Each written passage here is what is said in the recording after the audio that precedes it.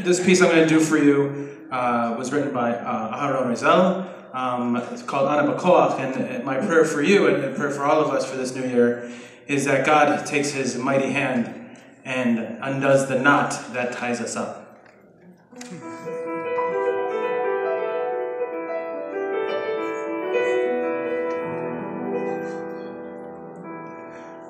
Ana Bekoach, Bekoach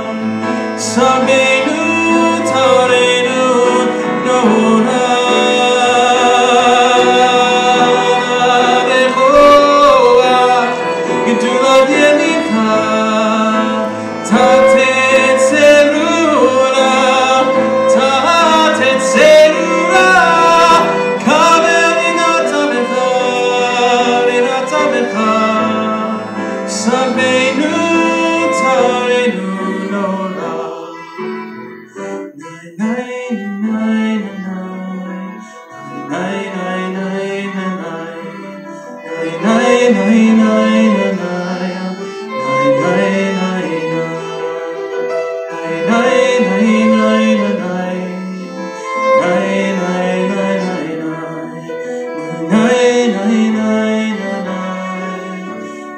lion of the